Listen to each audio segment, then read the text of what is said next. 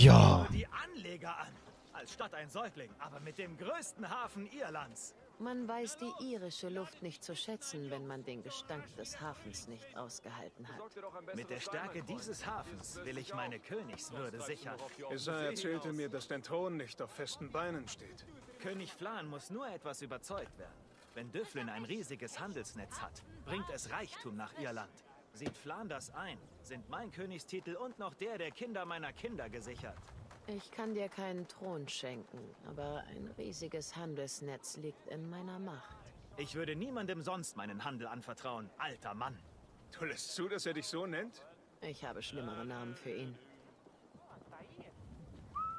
Barrett, mein König, ich schulde dir noch ein Horn Ale. Hier Okay. Verpasst das Festmahl nicht. Ich werde in Kürze dort sein.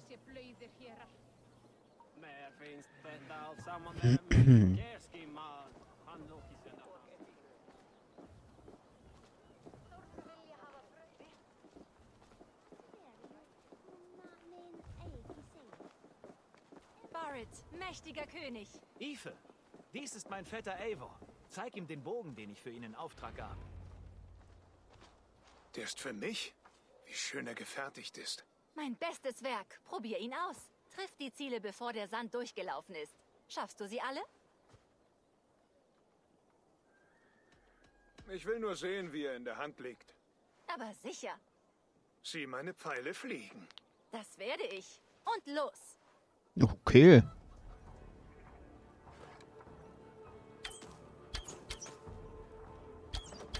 Ah. Hallo.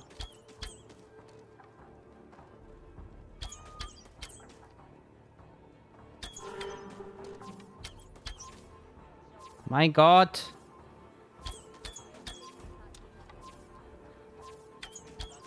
Ah, schießt noch nicht gut und dennoch ein wohlbedachtes Geschenk. Du hattest eine lange Seereise. Du hast deine Landbeine noch nicht. Grüße, Angmar.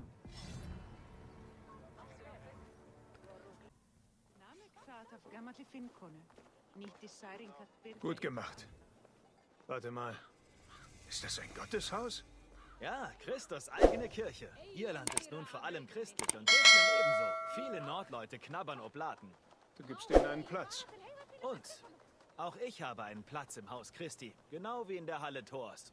Solange ein Gott mich beschützt, habe ich einen Altar für ihn.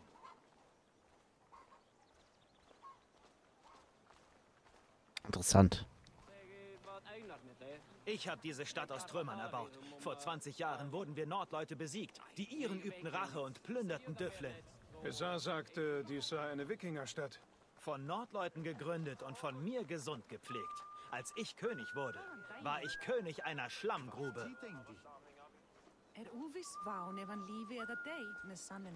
Ich denke nicht, dass das falsch synchronisiert ist. Ich denke einfach nur, ähm, das ist einfach nur so, dass das einfach nur erstmal so am Anfang ist. Denke ich, dass er sie einfach so nennt, weil er sie checkt, dass es eine. Frau ist. Ich bedauere nur, dass meine Mutter und meine Frau dich nicht begrüßen können. Sie sind gerade auf Reise in die Berge. Die Wasser dort stärken die Gesundheit meiner Mutter. Ich blieb zurück, meinen missratenen Sohn zu züchtigen. Und ein Festmahl zu geben. Das bereits in Gange sein sollte.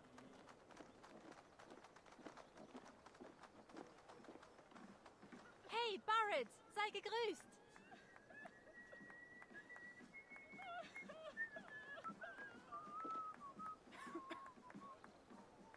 Da sind wir. Geh nur, vergnüge dich. Ich muss mit meinem Sohn sprechen. Komm zu uns, bevor der Abend endet.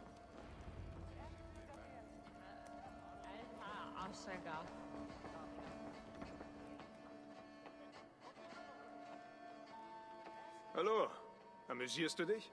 Ein großer Spaß und ein triftiger Grund, unseren zukünftigen König Siegfried zu feiern. Ich bin neugierig. Wie hat sich Bareth als König bisher geschlagen? Oh, ganz wunderbar. Er veranstaltet gern Festmale und lädt auch uns einfache Leute ein. Also vielleicht eher Gastgeber als König, aber er ist ein guter Mann. Und die Stadt war nie geschäftiger. Genieße das Festmahl, mein Freund. Du ebenso. Eieiei.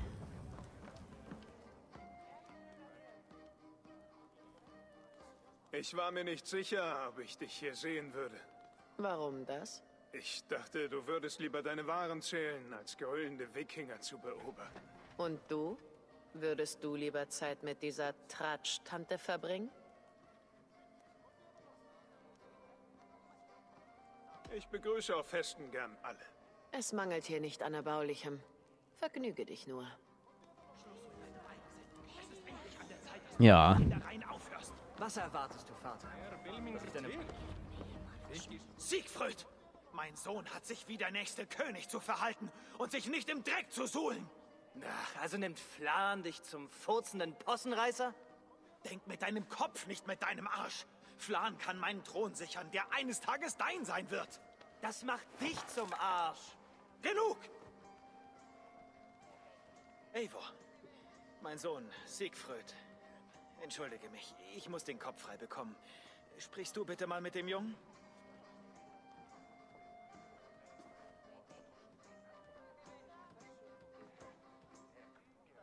Nur Gewürm verlacht den Vater unter seinem Dach. Klar, weil gerade angekommene Verwandte mir zu sagen haben, wie ich in meinem Haus spreche. In Nordwege lägst du bereits auf dem Boden. Dann komm doch, wenn du Ehre im Leib hast. Wie du willst, Kleiner. Du wirst nicht einen Treffer landen. Ganz schön große Fresse, der Junge.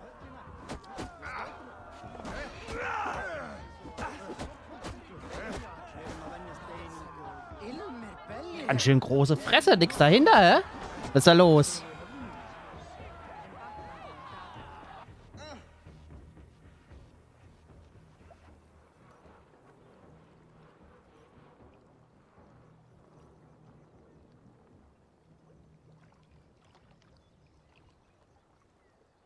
Ich sollte dir wohl danken, dass du mich nicht blutig geschlagen hast. Ich bin nicht hier, um mit dir zu streiten, Siegfried. Vater spricht so lobend von dir. Ich wollte sehen, ob du den Geschichten gerecht wirst.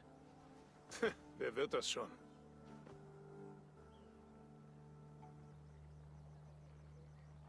Bist du mit der Herrschaft deines Vaters unzufrieden? Er hat, was ein guter König braucht. Aber stattdessen gibt er lieber den schmierigen Händler. Ein Besuch in Nordwege könnte einem jungen Dränger Gutes tun. Ich täte nichts lieber, als mit Vater zu gehen. Vielleicht würde die Heimat seinen Kampfgeist entzünden und Tiflen einen starken König schenken. Ich habe deinen Vater verloren. Weißt du, wo er sein könnte? Er wollte den Kopf frei bekommen. Das heißt, er besucht Großvaters Grab. Er spricht fast jeden Tag mit ihm. Baröd kann mit den Toten reden? Nein, seine Gespräche sind einseitig. Das Grab ist oben auf dem Hügel. Ich finde ihn schon. Danke, Siegfried. Eva, bring mir irgendwann bei, wie man so zuschlägt, ja?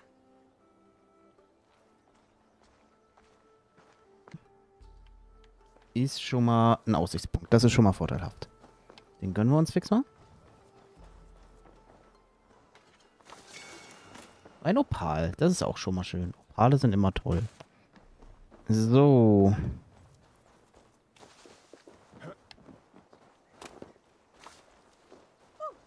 Gucken wir uns Düflin mal von einem Aussichtspunkt genauer an.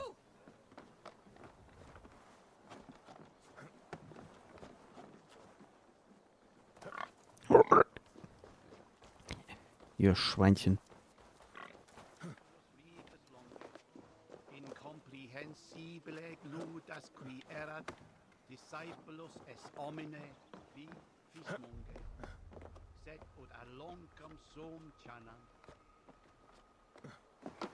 Wikinger ein Gotteshaus hinbaut. Hätte ich jetzt nicht gedacht, aber okay.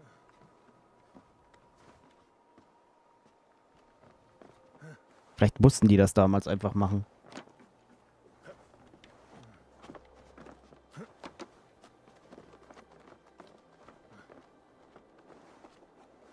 So.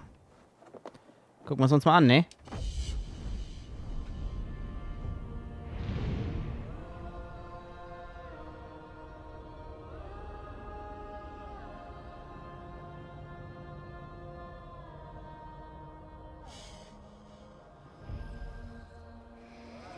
Schöne Gegend auf jeden Fall. So.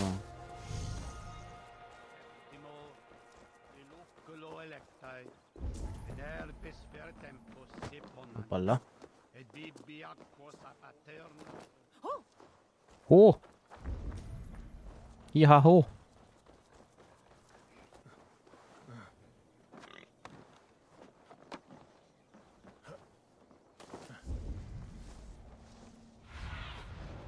Flieg, Freundin. Da oben. hm?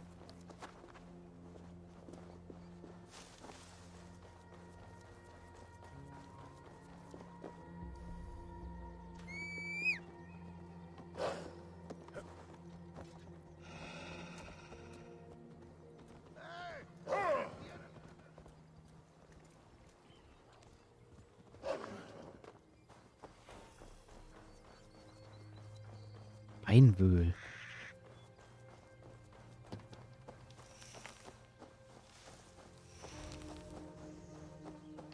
Und das?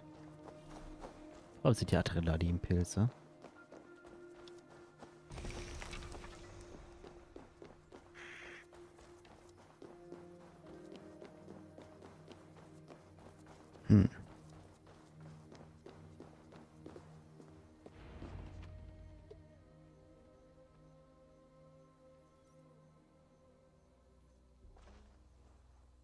Barret. Warum so unruhig? Ein König muss immer auf der Hut sein. Wenn ich bedrückt oder unsicher bin, komme ich hierher, zum Geist meines Vaters. Ich habe nicht mal nach ihm gefragt.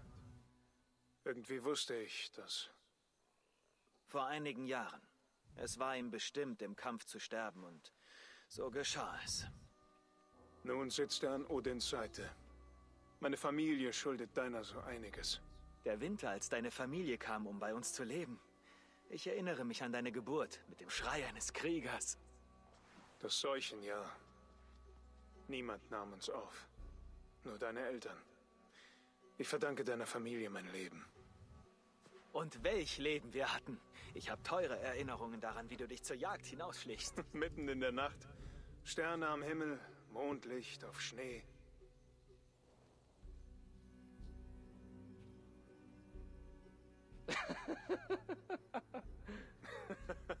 Und so bekam ich die Narbe. Das tut mir leid. Was ist mit der auf deiner Wange? Die? Eine Warnung der Götter ob meiner Eitelkeit. Komm, wenn wir all unsere Geschichten erzählen, sind wir eine Woche hier. Siehst du etwas? Nur in meiner wilden Vorstellung. Doch gehen wir trotzdem.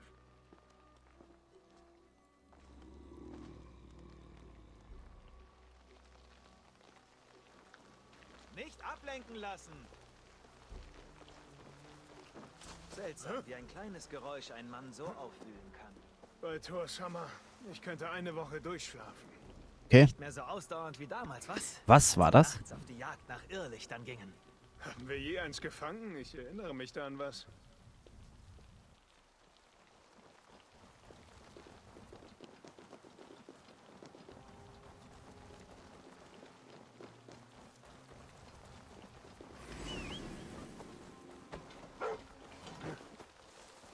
Oh mein Gott. Iverson, ergib dich uns! Was? Zurück! Ergreift ihn! Fesselt ihm die Hände! Wer sind diese Männer? Du verfluchter Bastard! Aua! Aua!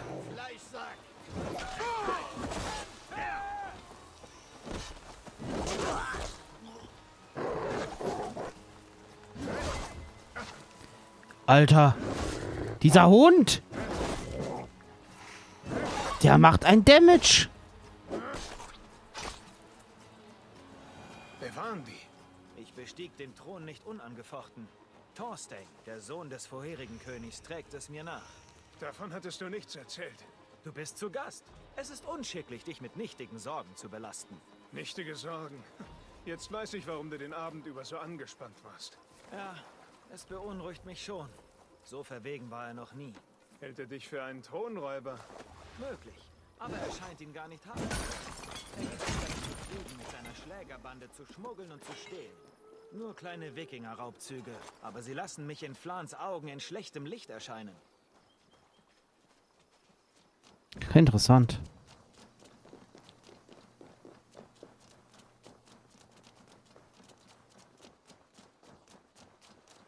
Schärfe deinen Blick. Heute Nacht sind Räuber unterwegs. Verlass dich auf mich, mein König.